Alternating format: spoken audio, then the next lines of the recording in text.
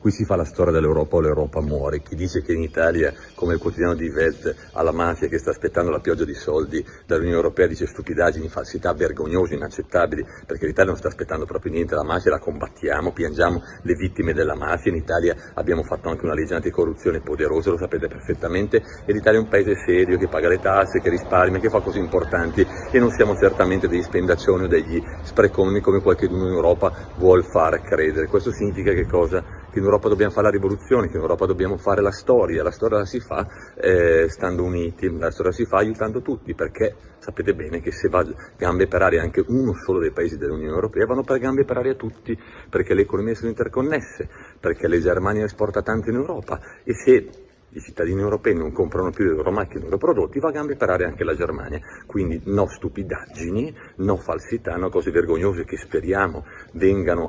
diciamo, prese le distanze anche dal governo tedesco e sì alle cose serie, sia alla solidarietà, sia agli aiuti. Quell'Europa lì dell'austerità. Mi pare che abbia già fallito e probabilmente questo è l'ultimo tempo, l'ultima chance di questa Europa. E fa bene Conte a dire che questo è il momento di eh, trasformare l'Europa, altrimenti l'Europa è finita, c'era andata vicina alla fine ed ora penso che possa fare molto meglio imparando dal passato, imparando dagli eroi. Ed è questo che stiamo facendo in Europa ed è questa la lotta che stiamo portando avanti, no MES, sì Eurobond, lo dicevamo anni fa, lo diciamo adesso, non ci siamo rimangiati la parola, lottiamo, lottiamo e teniamo alto gli interessi degli italiani, che significa anche tenere alto l'interesse dell'Europa per tenerla in vita, ma molto meglio di prima, Europa solidale e non dell'austerità, dove gli egoismi prevalgono sugli altruismi.